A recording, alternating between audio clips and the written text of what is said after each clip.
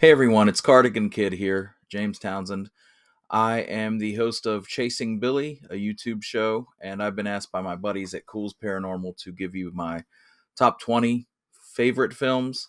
It's kind of a difference between what you think the best films are and what your favorite films are. So, a lot of my favorite movies are uh, probably terrible movies, but and definitely not the best, but you know these are movies that you watch as a kid or that you have some nos- nostalgia attached to or that you grew up with.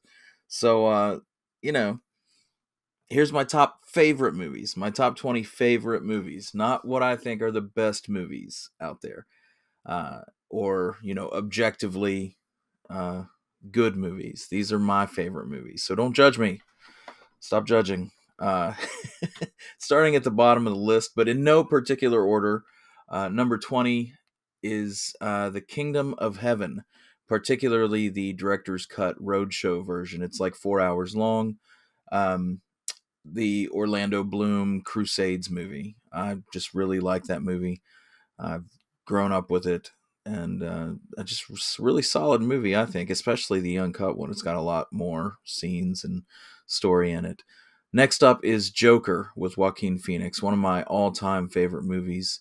It's just a work of art, in my opinion. Uh, one of the best movies out there, even outside of the superhero mythos. It, it's uh, just a good film.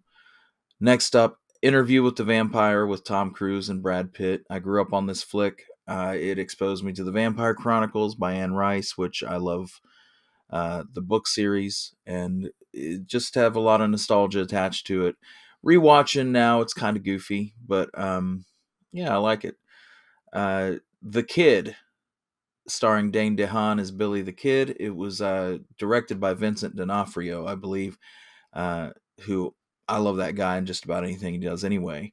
But it's a great Billy the Kid flick. A lot of really cool, uh, historically accurate scenes uh, woven into a completely fictional tale about a boy on the run with his sister.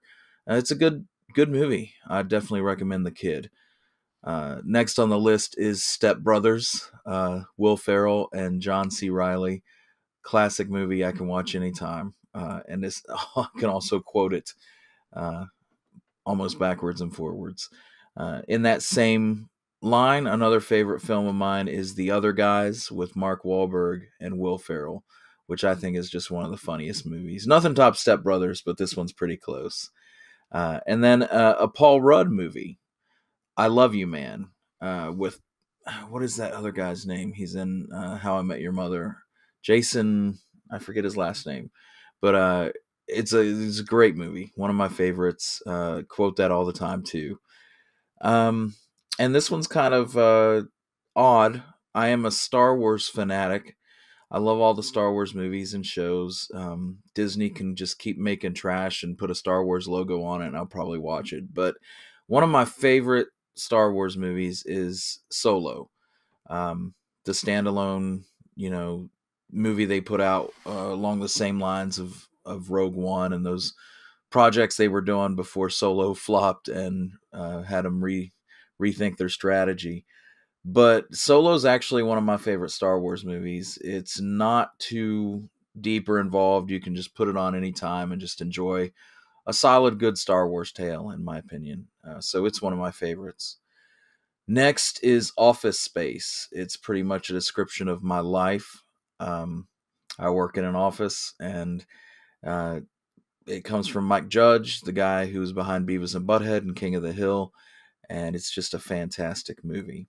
Uh, next up on the list is Young Guns 2. I saw Young Guns 2 before I saw the first one. I saw Young Guns 2 in the theaters when it came out, and that was what ignited my interest in Billy the Kid and really got me into I think it was like my first western I ever saw period. So it really started the whole thing. So I have a special place in my heart for Young Guns 2. That's not to say I don't love the first one, but when we're talking about top favorite movies, Young Guns 2 lands a lot higher than the first one. Um, that's just me. It's my opinion. The next one is The Big Lebowski. I've probably seen The Big Lebowski, uh, no exaggeration, probably like between 200 and 400 times. Um, when I was in high school, every week we would uh, have a Lebowski night. It was on a Wednesday. I don't know how we swung that during school year. Maybe it was only in summer. But uh, yeah, Lebowski nights were every Wednesday, and we would just get together with friends and throw it in the VCR and watch it. And, you know, it was just always on every Wednesday night. So that's got a special place in my past and, and in my youth and growing up. The next one's probably one of my all time favorite movies, and I will always watch it. I've seen it countless times, and that is Conan the Destroyer. A lot of people think it's cheesy and hate it, and uh, you know, I think it's a great movie. I I've watched it since I was a kid. Gosh, since I was probably about four years old. It's it'll be always be the one of the quintessential movies of my childhood, and uh, you can call it a guilty pleasure or whatever, but that's one of my all time favorite movies, and I will gladly die on that hill. you can throw that up on number one if you want. Um, the next movie on my list is The Adjustment Bureau with Matt Damon.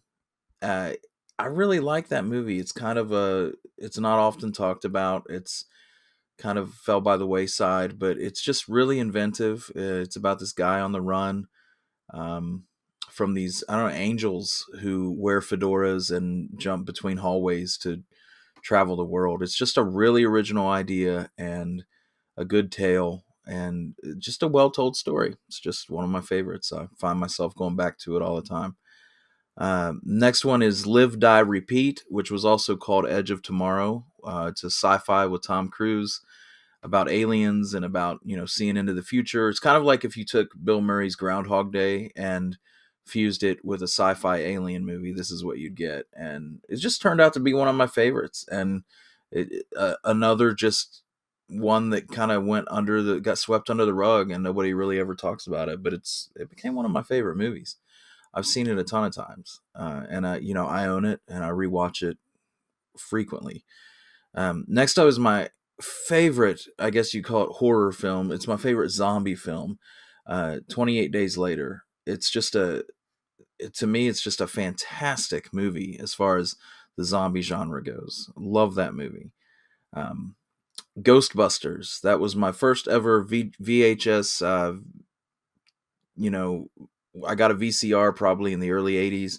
and Ghostbusters was my first ever VHS tape that was purchased.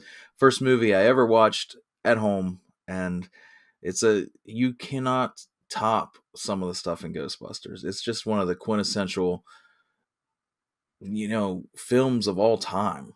Uh, to me, it's just I don't know. I don't want to repeat myself too much, but it's, it's a work of art. It's Ghostbusters. The original one is just, man, just amazing. Uh, it's it's one of my favorite films ever. Um, next up on the list is Pleasantville with Tobey Maguire, um, Jeff Daniels. Um, who's that other guy? The guy from Shameless. I forget his name. Really good actor. I don't know why all these names are slipping my mind, but um, it's right there. I'm I'm sure everybody's just yelling at that. William H Macy. Um, he's uh he's really good in it. Pleasantville to me is just an all around amazing philosophical movie. It, it, it examines a lot of things about being yourself and living with authenticity and and trying to break out from underneath the demands society places on you. And it's really inventive. Um, it's a great film. Uh, next up is Gangs of New York. I don't think I need to really elaborate on that. I don't know anybody who would argue that that's a, a bad movie. It's fantastic.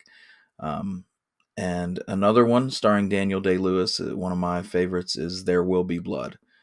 Uh, it's some people say it's a slow, slow moving movie. I love slow movies like that. I love cinematic masterpieces, which is what this is. Um, one of my favorite movies to watch anytime is uh, There Will Be Blood. And another slow burner, which is an absolute top shelf movie, in my opinion, is The Assassination of Jesse James by the coward Robert Ford with uh, Brad Pitt, Casey Affleck, um, Jeremy Renner, just a ton of good actors. It's, God, what a movie. It, it, to me that's just a there's no I have no complaints about that movie. It's just a fantastic piece of art. You know, there's movies that you love that you grew up on, like Conan the Destroyer, which someone can tell me that that's it's a terrible movie, and I'd be like, probably. But there's other movies like The Assassination of Jesse James that are just I don't. I mean, you can not like it, but I don't know how you can say it's not a masterpiece, even if you don't like it. But anyway, that's my top 20 films. Hope I didn't go through it too slow or too fast. And uh, let's see where it goes from here.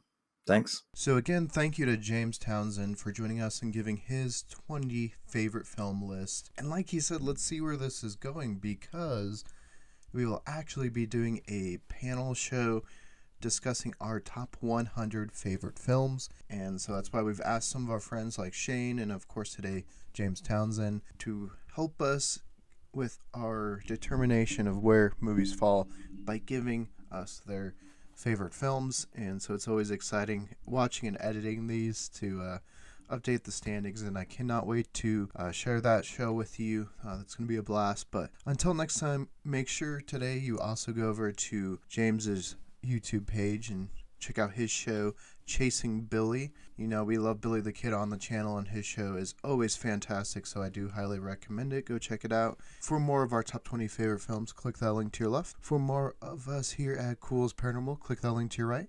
And don't forget to hit that like and give us a subscribe. And let us know what are your favorite films? Tell us in the comments below.